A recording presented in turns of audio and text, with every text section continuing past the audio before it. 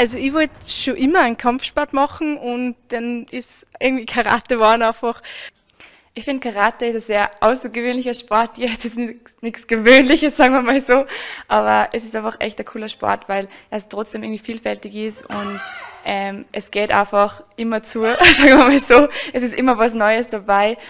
Also mir taugt es wohl, weil es ein extrem vielseitiger Sport ist. Ähm, es sind wirklich voll viele Aspekte, wo involviert sind, besonders Schnelligkeit, Konzentration und Karate ist aber emotionale Sportart. Also es ist ein Feuer da und es passiert was. ja, also ich finde es sehr schade, dass Karate so eine Randsportart ist. Ähm, aber ich glaube, meines Erachtens wissen viele Leute gar nicht mal, was Karate ist, weil es halt von Filmen, wie zum Beispiel Karate Kid, ganz anders halt irgendwie rübergebracht wird. Tritte, Schläge, Würfe. Davon gibt es in diesem Sport genug.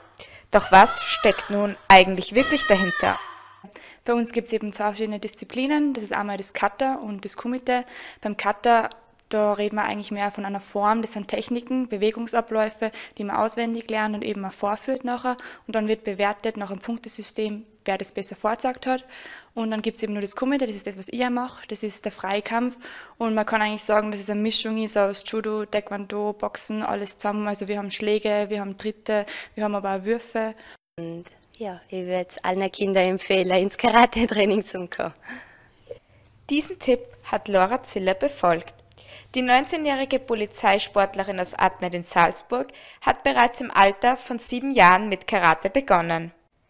Mittlerweile darf sie sich U21 Vize-Weltmeisterin nennen. Auch für die Zukunft hat Laura große Ziele. Also Ende März findet die Europameisterschaft in der allgemeinen Klasse statt, für die ich mich jetzt wieder qualifiziert habe. Also ich bin jetzt das zweite Mal dabei bei der allgemeinen EM und auf das freue ich mich schon wirklich. Und dann natürlich auch ähm, im Oktober, also Ende Oktober, Anfang November, findet heuer bei uns die U21-Weltmeisterschaft statt und da möchte ich natürlich meinen Titel verteidigen. Ziele, die ihre Teamkolleginnen jedenfalls zutrauen. Also ich glaube, die Laura kann in Karate alles erreichen, was sie noch will. Und sie trainiert sehr ehrgeizig und ja, also ich glaube, da ist noch sehr viel Luft nach oben. Natürlich träumt jeder mal von den Olympischen Spielen. Ähm, nächstes Jahr Tokio wird es für mich wahrscheinlich eher nicht ausgehen. Aber ich hoffe natürlich, dass wir in Zukunft auch noch dabei bleiben werden und dass ich meinen Traum vielleicht für die nächsten Spiele erfüllen kann.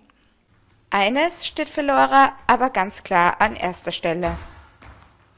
Ähm, mein Ziel ist auf jeden Fall, dass ich meinen Spaß, auch den ich im Sport habe, auch über die Jahre nicht verliere und dass ich es einfach nur gern mache. Das steht bei mir auf jeden Fall im Vordergrund.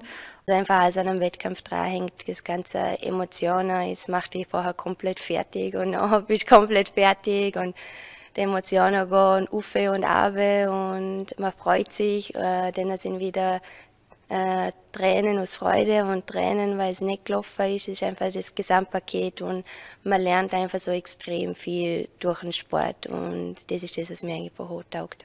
Mein Motto ist, ähm, kämpfe mit Leidenschaft, siege mit Stolz, verliere mit Respekt, aber gib niemals auf.